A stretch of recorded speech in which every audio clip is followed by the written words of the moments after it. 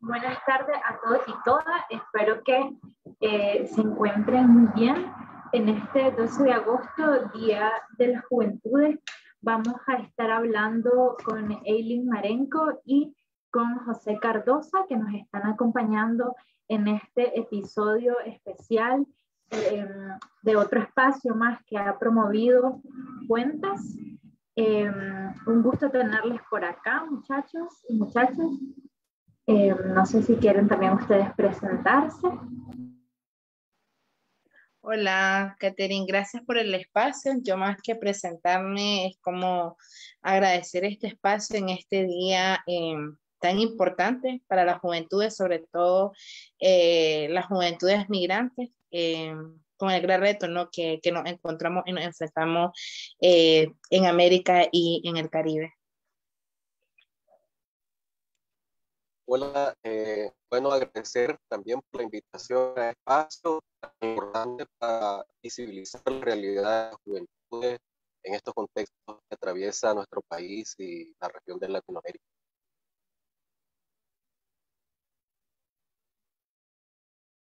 Muchas gracias por acompañarnos en ese mismo sentido. Hoy vamos a estar hablando específicamente eh, de la vivencia de las juventudes eh, migrantes y me gustaría preguntarles a ustedes, eh, ¿qué es ser joven en un país como Nicaragua? con todo lo que eso implica a nivel social, político, incluso económico. Eileen te dejó en la palabra. Sí, verás que cuando me pasaron como el guion y leer esta pregunta era como como ir y revisar y preguntarme primero a mí misma qué ha significado ser joven en un país como en Nicaragua y luego ver las otras realidades ahora no, solo mías, sino eh, de mis primas, eh, de mis sobrinitas que ya vienen también a, a, a este camino, ¿no? A, a formar parte de, de, este, de lo que es ser joven en Nicaragua. Y yo me resumo, ¿no? Primero por, la, por lo vivido y por, por, por la historia que tenemos en Nicaragua, ser joven es ser una persona con múltiples duelos, es cargar con múltiples lutos generados de generación heredados, perdón, de generación en generación. O sea, mi papá y mi mamá, eh, mi abuela les, les cargaron a ellos también, ¿verdad? Como sus duelos de migración también, porque yo vengo de una familia migrante, mi abuelo era de El Salvador y le tocó migrar también por una situación del contexto sociopolítico y él le, heredó a mi mamá como esta situación, luego mi mamá migró, luego mi mamá me hereda como toda esta historia, ¿no? Que venimos cargando desde los 80 y, y los múltiples el contextos de violencias que hemos vivido en el país. Ser joven en Nicaragua también es enfrentarte a múltiples retos, no solo, ya mencionaba vos, no solo sociales o políticos, sino económicos también. Ser joven en Nicaragua es verte eh, y pensarte tal vez en no terminar tu carrera, porque un país donde no nos brindan las condiciones, donde no hay condiciones para poder culminar, y mucho menos ahora en Nicaragua, donde ni siquiera hay universidades ser joven en Nicaragua es querer irte todos los días y no solo desde abril 2018, sino desde antes existía una migración fuerte económica porque el país también no nos brindaba las condiciones para poder eh, realizar o terminar nuestras formaciones o terminar siquiera también poder acceder a un empleo digno poder acceder también a salud digna, a educación eh, digna también, es como, como todo esto. No sé si estoy siendo muy, tal vez porque ahora lo veo desde afuera, tal vez siendo muy, muy cruel, como ser joven en Nicaragua realmente es pensarte fuera de tu país, porque no hay oportunidad en un país donde, donde han habido tanto duelos, tantas guerras y donde económicamente no es sostenible para nadie. Entonces, no, eh, para mí, eh, eso significa ser joven estando ahora desde afuera, eh, sin oportunidades realmente, siempre viéndonos desde, desde otros países para poder cumplir como nuestras metas, nuestros sueños. Y, y es duro y es triste, pero esa es como la realidad que vive el país y, y, una realidad que vino a reforzarse ¿no? desde abril 2018 en el contexto sociopolítico actual que todavía vivimos bajo una dictadura con el régimen de Daniel Ortega y Rosario Murillo. Muchas gracias, Eileen. Eh, José, ¿nos podrías compartir un poco, en tu caso, eh, tu perspectiva, quizás desde otras realidades, pero al final con un punto de encuentro eh, como joven? bueno, en Nicaragua realmente ser joven es un reto significativo porque implica una responsabilidad, pero también rodeada de incertidumbre. ser joven a nivel general que se aprovechan las primeras oportunidades, se establecen la identidad y el comportamiento de una persona. Es el momento en el que se generan eh, las primeras proyecciones, las expectativas, y en donde se moldea un poco más un proyecto personal de vida. Sin embargo, en Nicaragua eh, es totalmente distinto y es un poquito complicado esto de los proyectos de vida porque el,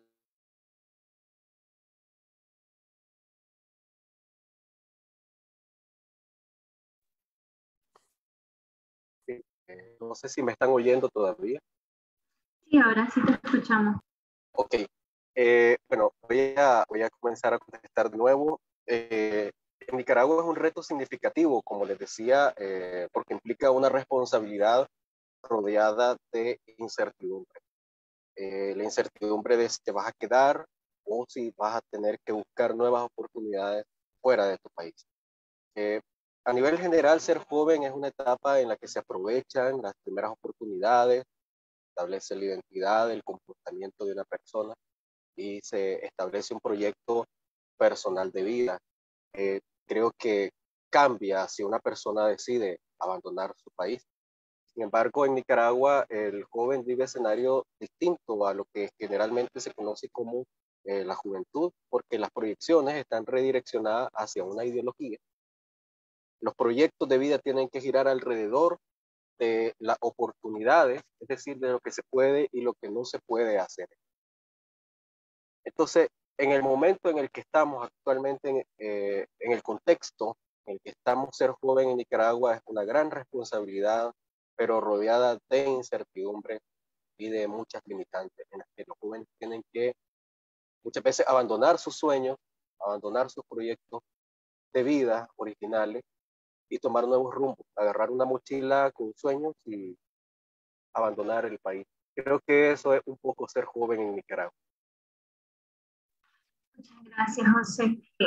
Yo quisiera agregar solo como algo, perdón, que escuchando a José se me vino como y reafirmar, ¿no? Que en Nicaragua ha sido un delito ser joven o sea, pasó en, es a, los jóvenes, a la juventud que se le ha como dado, ¿no? O heredado esa, esa mochila y esa responsabilidad del cambio.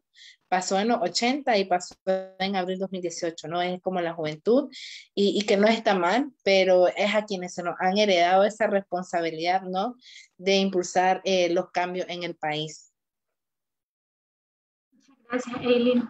En ese mismo sentido, eh, hablando pues de todas estas responsabilidades que de repente pueden ser abrumadoras, porque en efecto se espera, al menos en el imaginario colectivo, que las juventudes sean el cambio, que las juventudes traigan la nueva cultura política, el progreso, entre otras cosas, pero lo cierto es que esto no siempre pasa y que muchas veces también desde las juventudes hay em, muchos vicios políticos, eh, mucha cultura del silencio, mucha complicidad en distintas situaciones, en especial en el espectro político. Entonces, de, en esta misma línea me gustaría preguntar, ¿qué están haciendo los jóvenes en el exilio? ¿Cuáles son esos retos? ¿Y qué se está haciendo para poder mejorar el país o para continuar con un plan de vida que no es algo pequeño, sino que literalmente iniciar de cero en un país que no es el tuyo, cuando no lo tenías planificado, ¿qué se está haciendo en este sentido?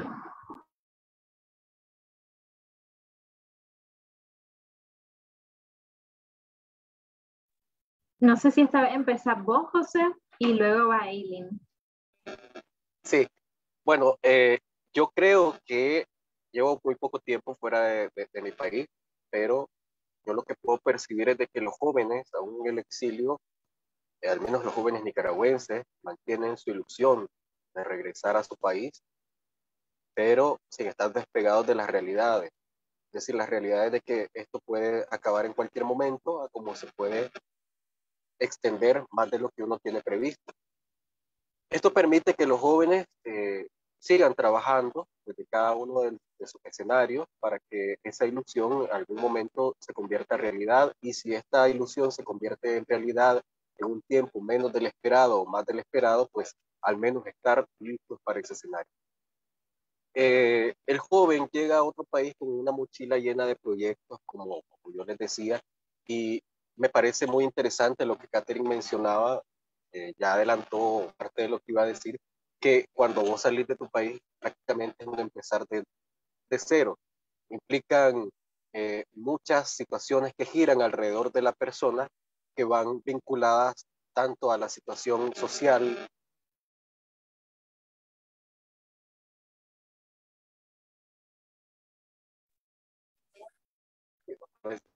no sé si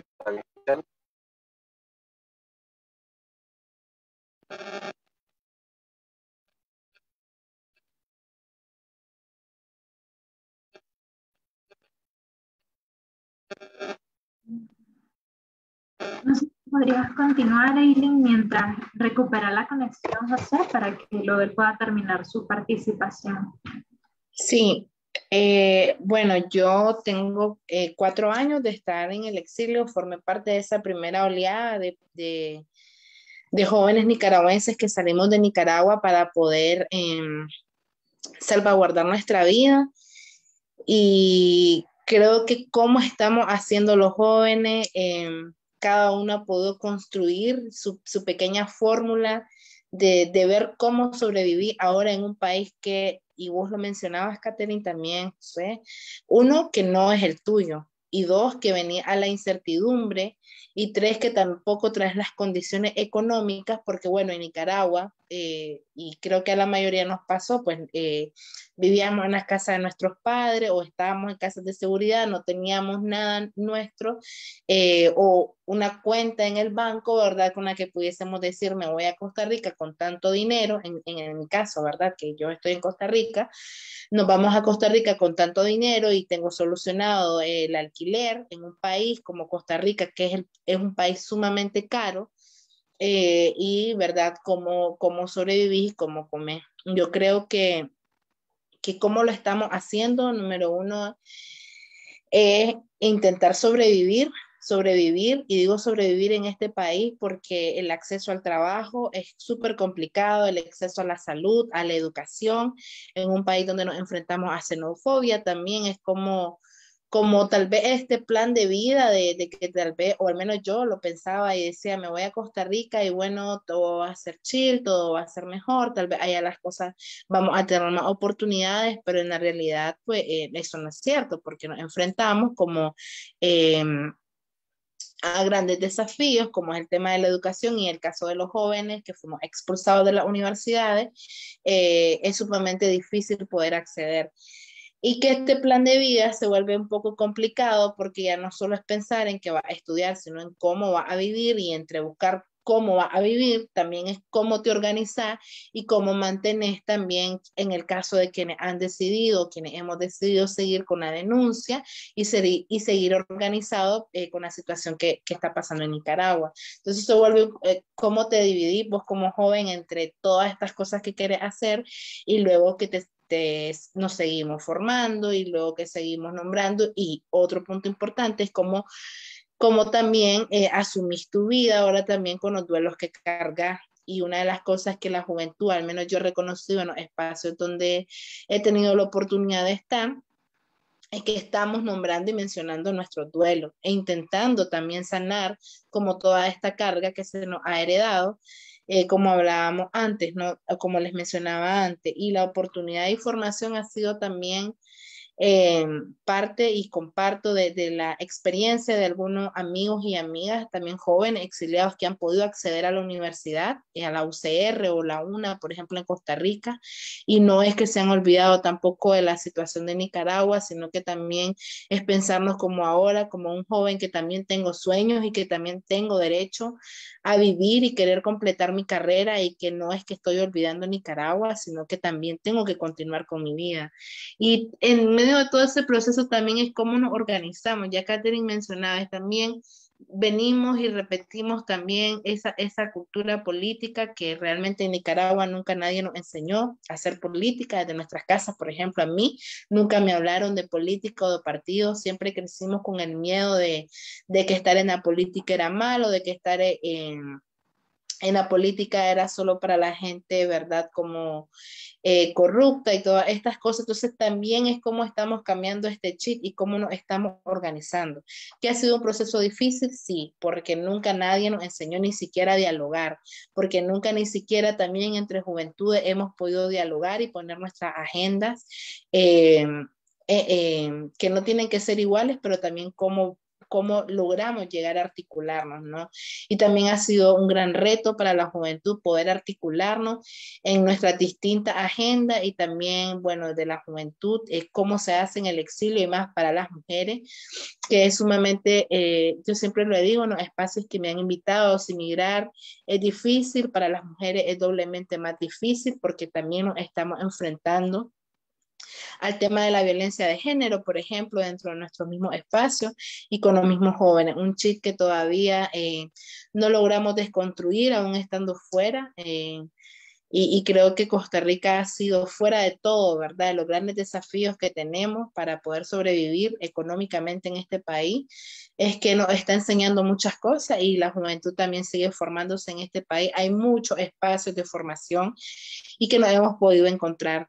Y creo que la apuesta es y el desafío para mí más grande es poder mantener viva la esperanza eh, y la llama, ¿no? De, no sé si sonará muy cliché ya de lo, de lo que, del estallido social de, de abril 2018, pero poder también articularnos, sentar y empezar a dialogar entre nosotras y nosotros mismos como jóvenes también, eh, desde nuestros diferentes espacios y agenda, eh, y con todos estos retos ¿no? que tenemos ya, ya encima de que es volvernos a plantear este plan de vida en un país que no es el de nosotros ni nosotras.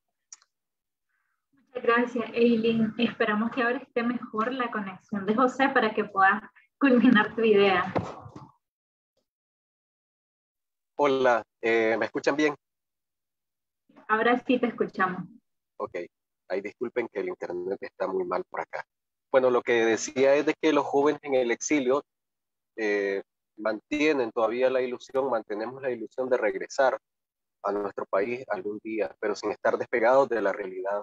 Esta realidad puede ser pronto, puede ser mañana, puede ser la otra semana, a como puede ser en muchos años, sin saber cuándo.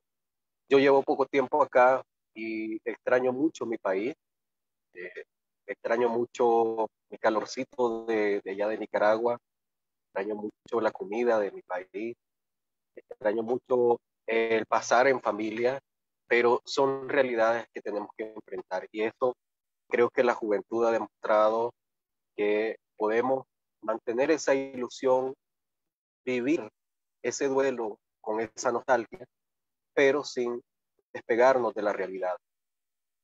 Llegar a un país, como decía anteriormente, con una mochila de proyectos, de sueños inconclusos, buscándoles cómo darle una continuidad es actualmente la situación que al menos personalmente puedo describir.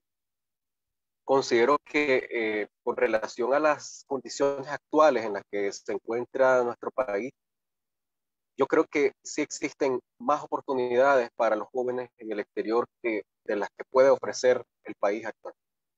Hay un control absoluto sobre la educación media, la educación superior y las posibilidades para poder organizar, las posibilidades para poder articular esfuerzos eh, son muy limitadas o casi nulas en, en nuestro país.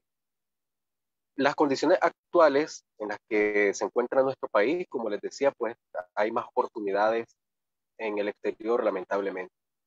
Y esto recae también en la responsabilidad que mencionaba al inicio en la primera pregunta, puesto que los que hemos logrado salir, que hemos logrado recuerdarnos y que de alguna forma estamos en vías de obtener algunas oportunidades o ya las tenemos, eh, hay que seguir trabajando para que nuestro esfuerzo llegue a esas personas que todavía permanecen en Nicaragua y que añoran tener unas oportunidades similares a las que podamos tener en algún momento.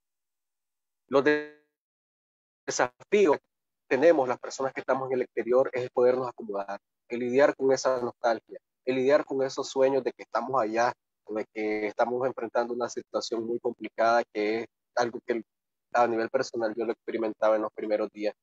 Yo soñaba que estaba en Nicaragua y que estaba escondiéndome en otro lado, o soñaba con cosas eh, relacionadas al día a día allá en el país.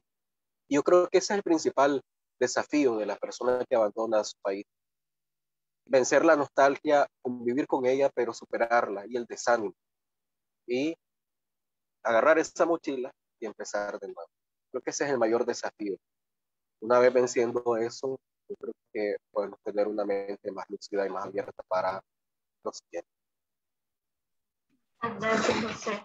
Eh, la verdad es que lo que ustedes nos compartían no es como una realidad aislada, sino que se escucha bastante y basta con entrar eh, a redes sociales, pues, los jóvenes utilizamos bastante, y ver cierta decepción o esa desesperanza como a través de lo que cada uno y cada uno expresa ante tantas cosas, incluso estando fuera eh, de Nicaragua se complican tantas cosas, incluso al estar expuesto a tanta violencia y encima lo difícil que es acceder a la justicia en nuestro país. En Nicaragua no se puede, sin embargo, cuando no conoce los mecanismos eh, para poder acceder a la justicia, ante tantas violencias que se pueden dar, que creo que para nadie es un secreto que entre las mismas juventudes eso sigue pasando y que sigue existiendo muchísima complicidad.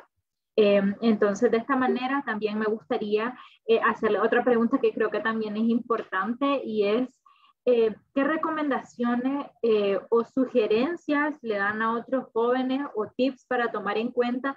Porque se ha generado una ola como muy grande de fuera de Nicaragua vas a estar bien, va a haber progreso, oportunidades, un montón de cosas y eh, también tenemos como no todo este fenómeno donde muchos y muchas jóvenes están em, como muy incentivado o tienen una perspectiva quizá errónea de que yéndose de Nicaragua se les va a resolver la vida a nivel económico, social, político, que van a estudiar en una universidad extranjera, entre otras cosas. Entonces me gustaría preguntarles a ustedes cuáles son como esas realidades y esos tips o recomendaciones que le darían a chavalos y chavalas que quizás están con esta percepción, eh, un poco quizás un, un, trago de realidad que a veces no es tan cómodo sin embargo, sí que es necesario hablar eh, con la verdad o de las realidades tangibles a las que estamos expuestos y no desde una visión eh, un poco utópica. Ok, creo que me corresponde iniciar a mí en esta. Y bueno, basta, eh, como lo mencionaba vos, para poder dar una revisadita, una mirada en las redes sociales de que, por ejemplo, también muchos y muchas dicen como, sáquenme de este país, me quiero ir de este país, como memes que vemos como eh, que me manden para, para, irme a Estados Unidos y todas estas cosas, y luego vemos, ¿verdad?, como la crisis también migratoria y todo lo que, lo que enfrentan cuando deciden irte eh, a Estados Unidos.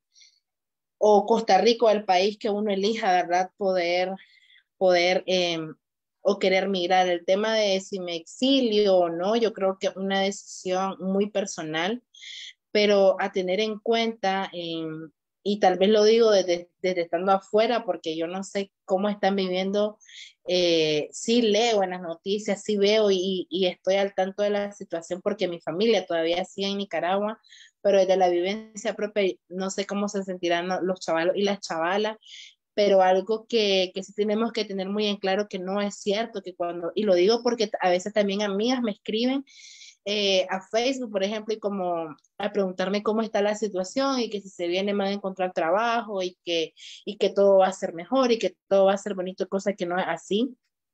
Uno, porque seguimos teniendo un gran, eh, un gran reto con migración, con el tema de los permisos laborales, con el tema de las, resoluciones de si una persona refugiada en este país o no, instituciones que vamos para cuatro años, tenemos cuatro años de que Costa Rica se enfrenta a esta oleada de personas nicaragüenses por la por la situación en Nicaragua, instituciones que todavía no conocen que un carnet de solicitante de refugio, lo cual podemos enfrentarnos también a explotación laboral, porque sí existe la explotación laboral, eh, a, a, trabajo eh, explotadores y mal remunerados totalmente, a la trata de personas, en el caso de las mujeres también, que, que se ve mucho en Costa Rica, eh, y como todas estas situaciones, yo creo que a la hora de decidir dejar el país, importantísimo poder contar con una red no solo eh, de apoyo, sino de contactos también para que a la hora que llegue a este otro país donde vaya a, exiliarte o ahora eh, a refugiarte, eh, puedas contar con información veraz y objetiva también, porque a veces tenemos tanta información que no sabemos a qué instituciones vamos a acudir, qué información nos puede dar acompañamiento en el tema legal, en el tema eh, de ayuda humanitaria también. Bueno, en Costa Rica siento yo que ha sido como uno de los países donde hay una red como más grande, porque obviamente somos más de 100.000 personas solicitando refugio y cualquiera pues tenemos información a la mano. Conocer de las instituciones como el Servicio Jesuita, Haya, Red, ACNUR, que están ahí para poder atendernos, ¿verdad? Y poder ayudar. ¿A dónde es que vas a llamar también? a qué número es que vas a llamar, porque también se han dado personas que eh, estafan por medio de esta información. Entonces, tener claro que un qué servicios va a pagar o qué servicios son gratuitos. Eh, por esa parte, esa, información creo que es súper válida. Eh, nosotras desde la colectiva a la cual yo pertenezco, Volcánica, em, hemos trabajado en una campaña que se llama Migramos para Vivir, donde pueden encontrar información al número que pueden llamar, a las organizaciones que se pueden acercar y qué tipo de acompañamiento da cada una de estas organizaciones. Porque eh, algunas dan, como les mencionaba, ayuda humanitaria, otras en el tema legal. Eso es como parte de, algunos de los tips que para mí me parecen fundamental a la hora de dejar eh, Nicaragua, ¿no? Como tener siempre o estar informándole a alguien desde el momento en que saliste al momento que llegas para poder darle seguimiento a, al camino ¿no? que estás dando y siempre mantenernos en contacto eh, sentirte ¿no? con personas nicaragüenses que comparten justo esto que, extra, que extraña José, que es el que está más reciente de haber venido a este país, como la comida, eh, extrañar ese calor o, eh, o, esa bulla, ¿no? como estar entre la misma gente tuya. Yo creo que es importante siempre acercarnos ¿no? como a la a estas redes y, a esto, y, y, siempre verificar como la información. Yo sé que no todas las personas pueden tener como acceso también a redes sociales o, o leer, pero sino preguntarle a alguien que uno sepa que ya está en el país cómo está la situación realmente. Porque al menos yo les digo a, a amigas como, no es cierto que hay trabajo, la pandemia dejó una gran crisis en este país y antes de la pandemia era difícil conseguir trabajo. Post pandemia es sumamente doblemente difícil, más para una persona nicaragüense que no cuente con los documentos que se necesitan eh, para poder acceder al trabajo. Por ahí. Muchas gracias. Eh, José, tenés la palabra para que nos puedas contar un poco de, tu experiencia. Si bien mencionabas que estás como muy reciente de haber salido del país, sin embargo, quizá eso te da como una visión de qué estabas pensando vos eh, antes de salir y quizás podrías dar algunas recomendaciones a personas que estuvieron en tu misma situación? Bueno, yo no pensaba salir, realmente. Yo no me imaginaba y todavía un día antes de salir yo no, no tenía la idea pues de que iba a cruzar la frontera. Eh, fue una decisión de horas realmente, por una situación de, de emergencia. Y creo que en esta situación es un poquito más complicado. Sí, como decía, pues tengo muy poco tiempo de estar por estos lados. Acabo de cumplir el mes. Y lo que les puedo decir es de que eh, la decisión, el exilio, yo lo miraba como algo muy distante a, a, mí, ¿verdad? Que era una decisión que no estaba en plan, era la última opción. Sin embargo, siempre guardaba y lo seguiría haciendo, claro, un profundo respeto y, y admiración por esas personas que antes tomaron la decisión de resguardarse fuera de Nicaragua. En ese momento yo miraba con mucha admiración la resiliencia de las personas que deciden abandonar Nicaragua en busca de salvaguardar su, su integridad. Y es que esta, esta decisión siempre he pensado que responde a los escenarios de cada quien y es una decisión personal, que solamente uno como persona sabe si está en riesgo o no está en riesgo. Y creo que nadie puede someterte a un cuestionamiento por esta decisión. Y eso de que mencionaban del trabajo, de que hay personas que allá, cuando estás por acá, te dicen de que está la situación, es que la persona que está dentro todavía de Nicaragua muchas veces cree que acá está un poco mejor, o que fuera está un poco mejor, y también el que está afuera considera que podría estar mejor dentro de Nicaragua. Pero hay que tener en cuenta que cuando uno abandona su país, como decíamos desde el principio de, este conversatorio, uno empieza de cero. Y ese empezar de cero es un nuevo esfuerzo, por ende son más energía y son más obstáculos. Si existen amenazas en el contexto en el que está Nicaragua, es una buena decisión eh, tomar la, la iniciativa por salir del país para salvaguardarse. Creo que a partir de junio del 2021 entramos en esta nueva etapa. Y yo recomendaría, si tenés pensado salir eh, en, esta, en este contexto, ya sea por cuestiones, hay que identificar si es por cuestiones de seguridad o si es por cuestiones de una mejoría de oportunidad. Porque si es por, por cuestiones de seguridad, porque te sentís amenazado, pues entonces vale la pena evaluar el riesgo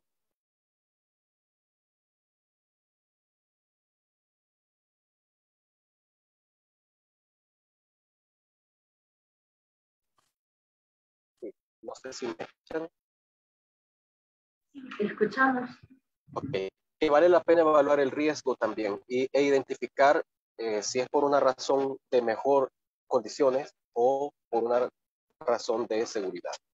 Hay siempre que tener redes, hay que conocer, como decía, como bien decía Hayley, hay que tener personas en el que estén en el exterior a donde vayamos a dirigirnos que nos puedan echar una mano, sean familiares, ya sean redes de apoyo o ya sean amigos hay que identificar esto, hay que averiguar muy bien a qué instancias uno puede acudir como nicaragüense, cómo solicitar el refugio y cuáles son esas, esas, esas situaciones que se nos pueden volver en contra nuestra. Por ejemplo, el no tener la cita con migración, que algún oficial te pueda, eh, digamos, detener en algún camino y, que incluso pueda, pueda eh, ser regresado.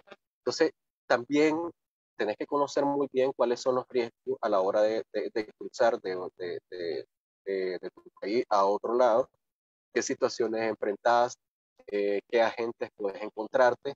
Yo creo que hay que informarse muy bien antes de tomar esta decisión y también ver qué se dice en las redes sociales y qué de esto es real. Creo que la, la, el, el, tip fundamental de esto es, eh, se resume en dos, tener las redes de apoyo tener amigos, familiares que te puedan echar una mano eh, y también tener la mayor información posible a tu alcance para saber cuáles son los siguientes pasos que vas a, tomar. Yo le sumaría también un poco eh, el cuidar la parte emocional, que esto obviamente siempre influye bastante las decisiones que puedas hacer. Evaluar riesgos, redes de apoyo y mantenerte muy bien Muchas gracias.